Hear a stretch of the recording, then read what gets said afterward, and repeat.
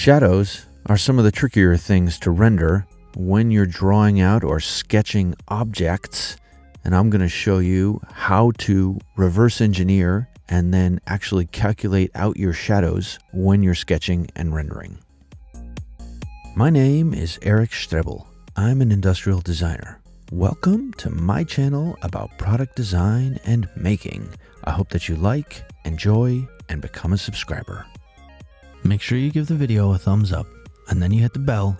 Hit the bell again so you get the little parentheses around it. That way you'll be notified every time I have a new video. Don't forget to check out the design and making merch just below the video. All kinds of stuff, t-shirts, hoodies, and other miscellaneous fun things you might like. I've created a simple shadowcaster with two straws, a couple of AA batteries, and an old Maglite spare bulb, very analog, to show you how we illustrate calculating shadows.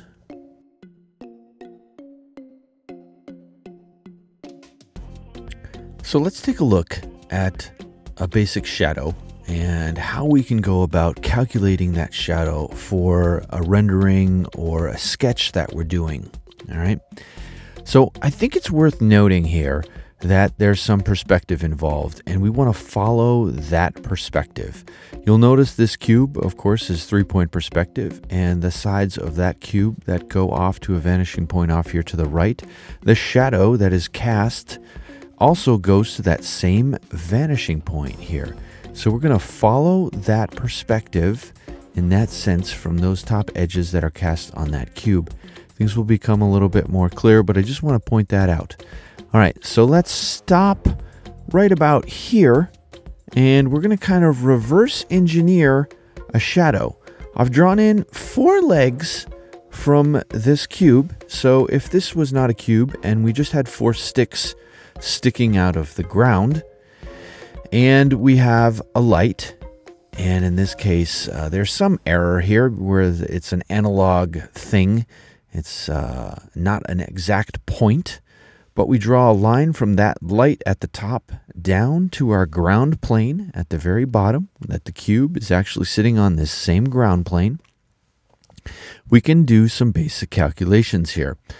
We can draw a line from the very bottom of this light pole or this shadow caster through the bottom of the sticks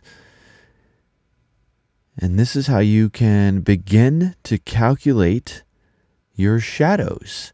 So you'll see these yellow lines here go through the bottom of the sticks, intersecting at the bottom of those purple lines, which are basically the sticks sticking out of the ground that represent the four corners of this cube. All right. So now let's calculate the light rays that are emanating from our light source or the top of the pole. And we're going to have those light rays shine down and intersect the top of those sticks and stop where they intersect the yellow lines. And those lines are drawn in blue. And you can see that where those lines intersect happen to be where the shadow falls on the ground plane. And this is how we can calculate the shadows of those sticks. And I'm going to draw the shadows in red. If those were just sticks on the ground that were being, that are casting uh, a shadow. And let's remove now the light source and the lines at the bottom and take a look at those shadows.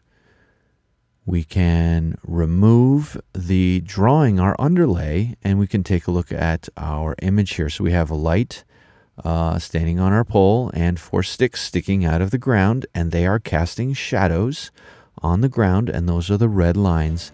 And that's what the shadows would be like from those four sticks. Let's come in and draw the top of the box.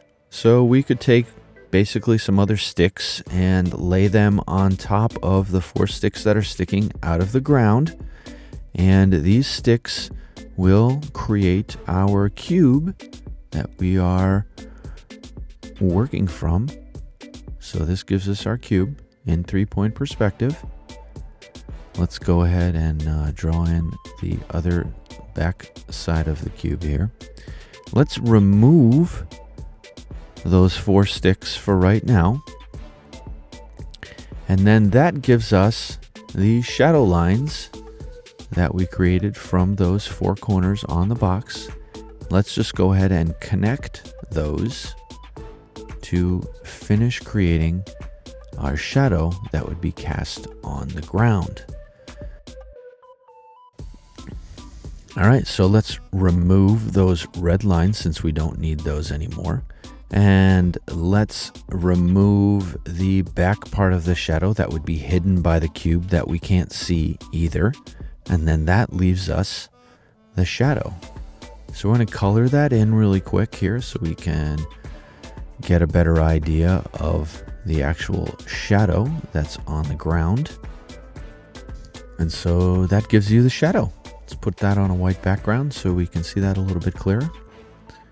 And that's how you calculate a shadow for a simple cube.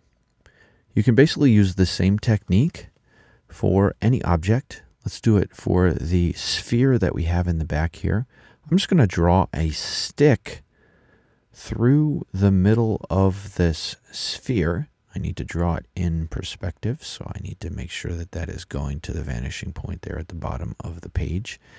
And we're just gonna, I'm just gonna illustrate this by using a simple stick to get you in the ballpark for a sphere.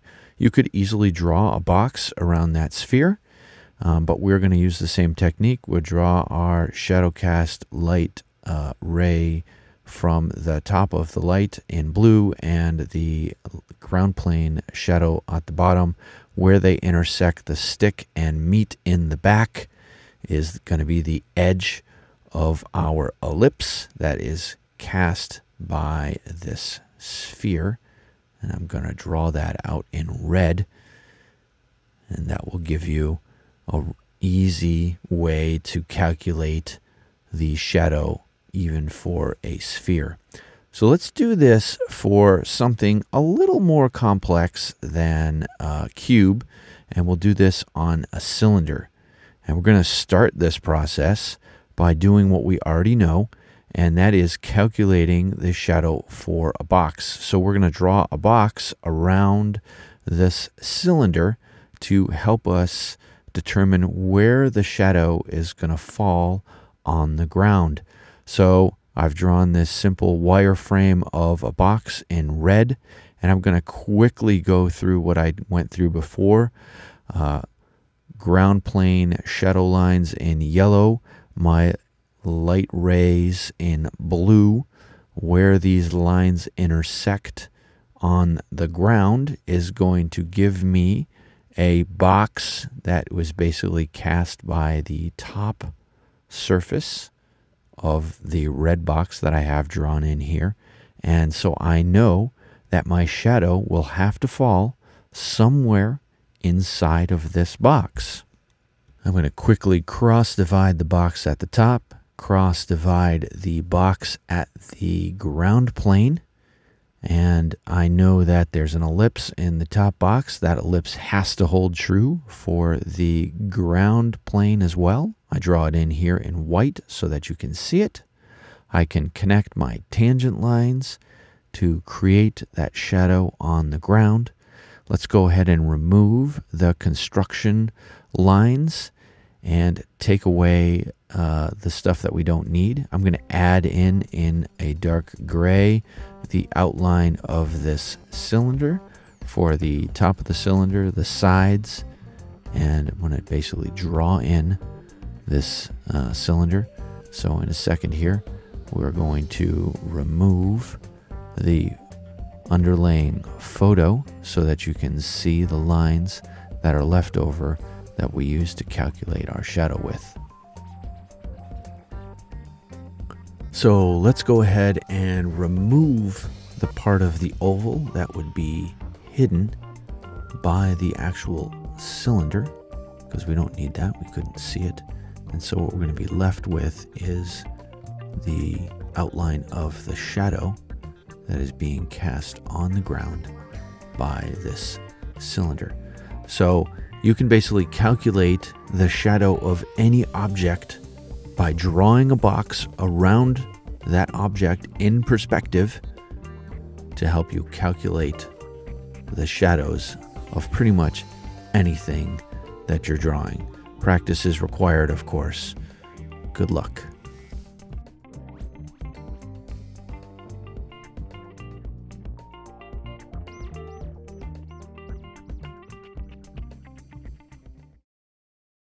Don't forget to subscribe to the channel. You can do that by clicking on the icon in the bottom right of the video or below the video. Give it a thumbs up and follow the channel there as well. You want to know about upcoming design content and projects that I'm working on? Follow me on Instagram, Twitter, Facebook, and my favorite Google Plus links below. Rock on.